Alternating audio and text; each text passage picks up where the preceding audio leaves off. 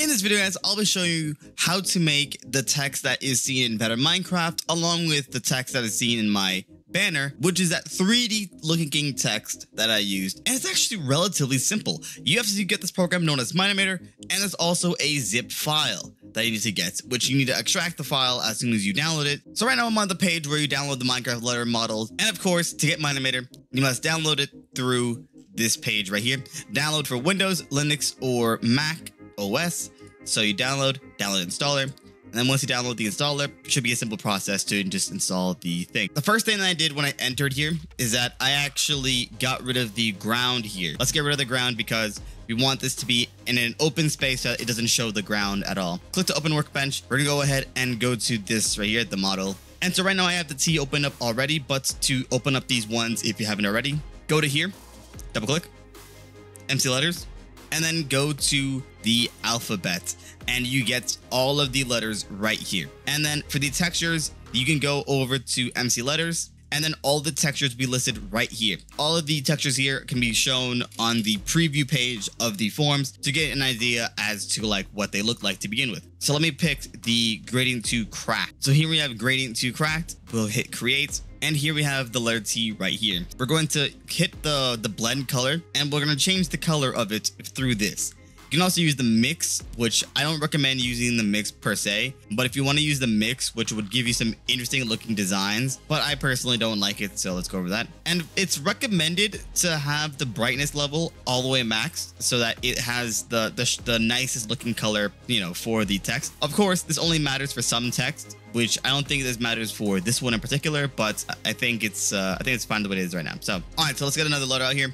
The letter U create. Now the U actually appeared a little lower than the T. And one thing I forgot to do as well is that as you might notice, uh, I kind of forgot to put the texture on the U. One thing you need to keep in mind is that whenever you're doing this, you have to make sure to repeat the exact same step in order to make sure that you got it correct. That is the correct U this time. So one thing they can do to make sure that they're on the same Y level, which is basically the up and down course in Minecraft, is you have to go down to the timeline, click on this, hold shift, click on the other one, and then type in the Y level. You can do this after you're done with all the letters so that it's a lot easier of a process. When you click on the U, it will show you this right here. But what you need to do is that you need to click on the U again to show you this. Because this right here shows you adding more to the value that's already there.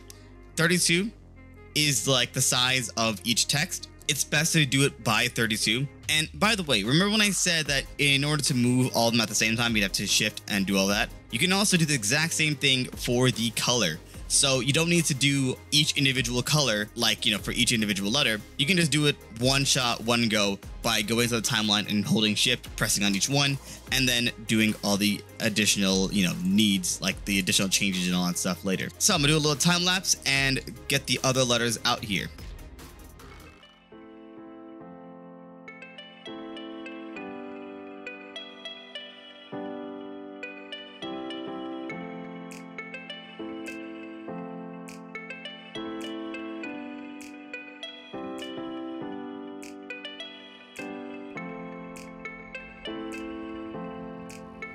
Okay, so right now I have finally finished the basic portion of it. And you might notice that this right here, the eye, doesn't exactly look all the best together. Now, the obvious reason why the eye is like this is because the eye is probably the only one that would give you the most difficulty in terms of the spacing. So now we're gonna have to like adjust the spacing manually a little bit just to get the right spacing here. I think around 25 to 20 like four be good. So let's actually put at 24 and let's see if that looks, that looks great. So we're gonna move this across to the side here. So we're gonna do 16 and now that looks good. So now we're gonna double click on this and we're gonna adjust this by 16. It still has that little gap, so let's adjust it a little bit more. So 15 is a little too far. 14, 14 looks perfect. All right, really, you can just adjust it yourself to see what looks good. And so now we're gonna go back to here and we're gonna adjust all of these to make it look like it has exact same color as the first two. The way to ensure that you have the exact same color among all of them. So let's go to this right here, the, the T in the front, blend color, copy the hex that you've used for the first one. So I'm gonna hit uh, control C. So now we're gonna paste all of this into the, uh, the, the hex here. So control V And now everything looks good so far. Let's go ahead and get ourselves a camera. One thing to note is that it's best to keep this at zero, this at 180, and to not change the Z as well. So we're gonna use only the position controls here to actually adjust the tutorial here. One thing with this as well, in order to get that nice like rotated title screen, like the rotated backwards, you have to click on all of the letters once again. So let me make sure that I have all the letters selected. We're going to simply rotate the Z. And now we have ourselves a lovely little title. Let's go back to the camera here. So I'm gonna click on the camera. I like to like make sure that these sides right here, make sure that they have a little bit of a gap just so I can see how much I need to adjust each side go to this top one right here, this export the current frame as a file. We want to have a good resolution size for this. I personally recommend you guys go for a 4K cinematic one because at least this will be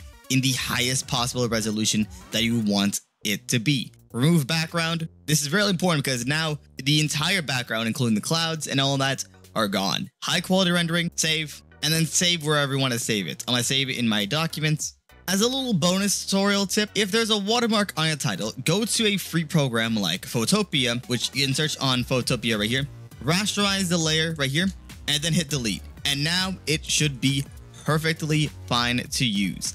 And that is it. That is your text right there. So thank you guys so much for watching. If you liked the video, like the video, subscribe I subscribe, and maybe top and speed up. I'll see you guys next video. Take care and goodbye.